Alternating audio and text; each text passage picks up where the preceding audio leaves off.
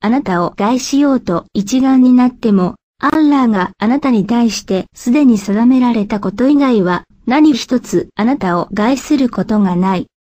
あなたが忍耐できることを確信するのなら、そうするのだ。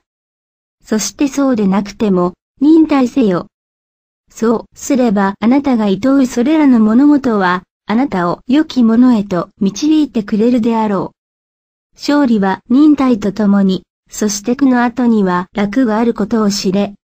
ある、ハーキムの伝承。20イスラームは現世的所持においても、宗教的所持においても、重要性を進めます。思考のアッラーはこう仰いました。こうして我らアッラーのことは、あなた方を公正かつ最善の民とした。それはあなた方が人々の証人となり、そして使徒ムハンマドがあなた方の証人となるためなのである。クルアン2体143またイスラムは優しさの宗教でもあります。アッラーの使徒彼にアッラーからの平安と祝福あれは言いました。アッラーは物事を困難で厄介にするために私を使わされたのではない。彼は私を教師として、そして物事を優しくするために使わされたのだ。ムスリムの伝承。故にイスラムはムスリムができるだけ物事を容易にするように進めています。預言者ムハンマド、彼にアッラーからの祝福と平安あれはこう言いました。挨拶をせよ。そして物事が人々にとって困難になるようにしてはいけない。物事を優しくし、厄介にするのではない。ムスリムの伝承。イスラムは寛容さと親切の教えです。アッラーの使徒、彼にアッラーからの平安と祝福あれの妻の一人であったアイシャは、ユダヤ教徒の一団が彼の元を訪問した際に、彼に対してこう言ったと伝えています。あなたに死が訪れますよ。アーイシャはこれに対し、こう答えました。あなた方にも死と呪いがありますよ。すると預言者ムハンマド、彼にアッラーからの祝福と平安あれは言いました。アーシャよ、もっと穏やかに。アッラーはいかなる場合でも優しさをめでたまわれるのだから。アーシャは言いました。アッラーの使徒よ、あなたは彼らが何を言ったのか聞こえなかったのですか？彼は言いました。私はすでにこう言ったのだ。あなた方にも、と、ある。ブハーリーの伝承。イスラムは、すべてのものの福利を追求します。アッラーの使徒、彼にアッラーからの平安と祝福あれは言いました。アッラーにとって最善のものとは、最も他人を益するものである。そしてアッラーにとって最善の行いとは、他のムスリムに幸福を与えたり、慰安をもたらしたり、また債務の肩代わりをしたり、空腹を満たしてやったりすることである。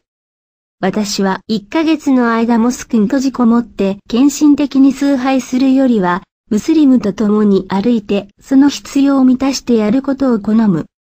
その怒りを抑える者は、アッラーによってその個人的所持をかくまってもらえるであろう。また、報復できるにもかかわらず、その憤怒を抑える者は、審判の日にアッラーによってその心を喜びで満たしてもらえるであろう。他のムスリムの必要が満たされるまでそのものと共に歩く者は人々の足が揺らぐその日、審判の日のことにその足場を言語にしてもらえるのだ。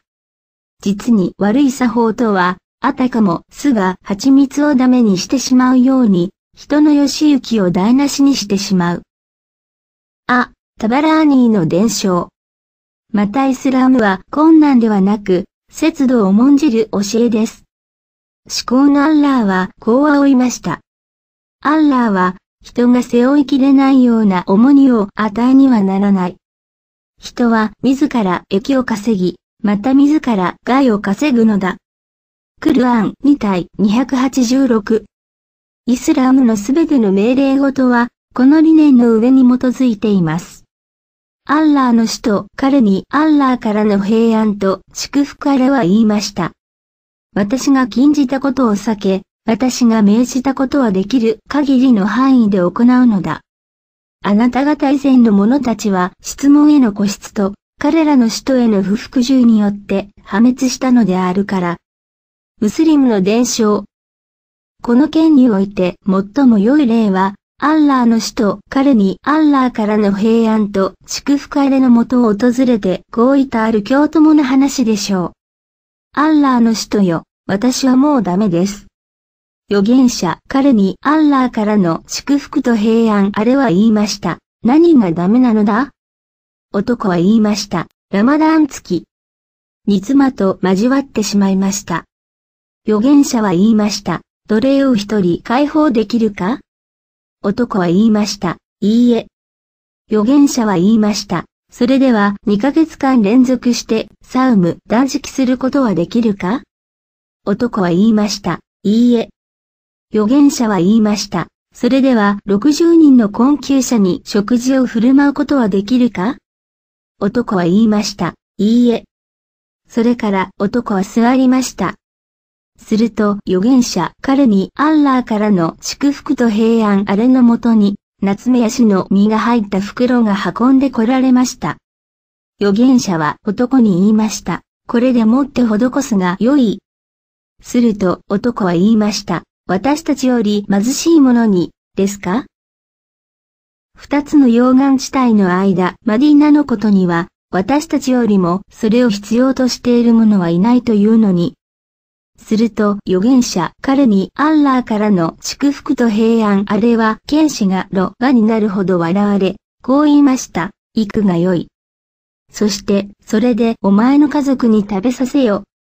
ある、ブハーリーとムスリムの伝承、イスラムの崇拝行為における命令はすべて人の能力に応じて課されています。人が能力以上のものを課されることはありません。ムスリムはある種の義務行為や崇拝行為において以下に示すような場合にはそれを免除されることもあり得ます。A、礼拝はそうすることができる場合において立って行うことが義務となっています。しかし、もし立って行うことができない場合、座って行うことができます。そしてもしそれすらもできなければ、横になって行います。そして、それさえも叶わなければ、仕草だけで行うことができるのです。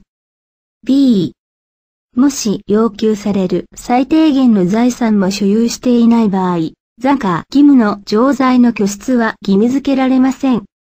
逆にそのものが貧しいものであれば、錠剤の配当を受ける権利を有します。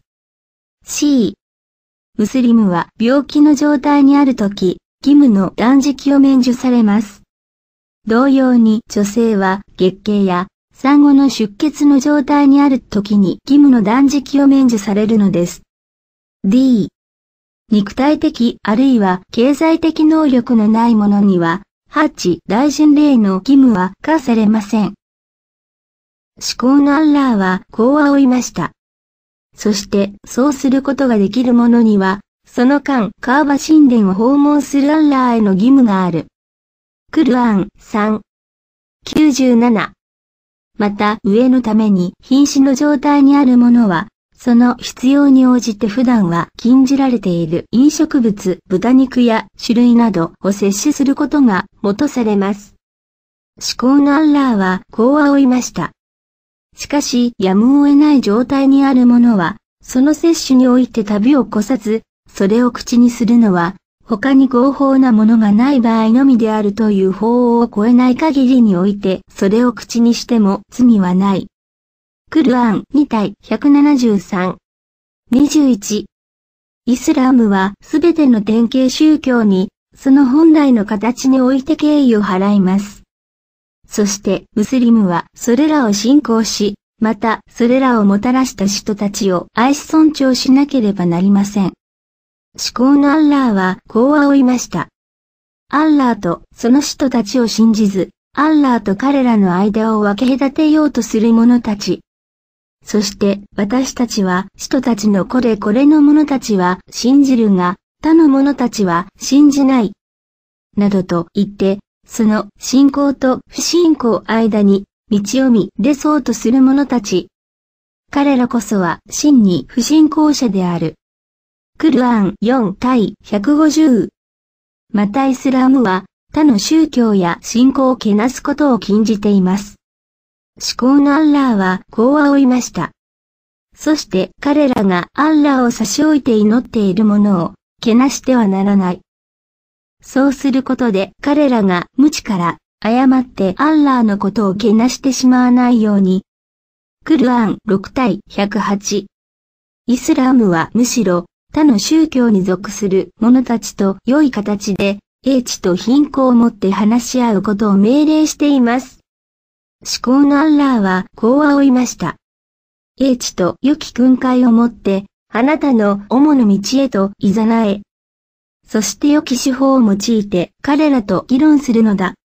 実にあなたの主はその道を迷い外れた者のことも、よく導かれた者のこともよくご存知である。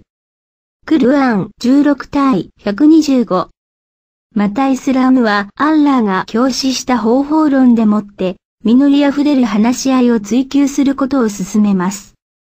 思考のアッラーはこう仰いました。いえ、アキラ天の民ユダヤ教徒とキリスト教徒よ、私たちとあなた方との間の正義の言葉へとやってくるのだ。その言葉とは、私たちがアッラー以外の何者をも崇拝せず、彼に何者をも並べたりしないこと。そしてアッラーを差し置いて、自分たちのうちの誰かを主としたりしないこと。それでもし彼らがこの木に及んでその言葉から背くのなら、言うのだ。私たちがムスリム、主に対して真に服従するものであると、証言せよ。クルアン3対64。22。イスラームはその社会内において、誠の形において平和の宗教です。アッラーの使徒、彼にアッラーからの平安と祝福あれは言いました。誠の信仰者とは何か教えてやろうか？それは他人の生命と財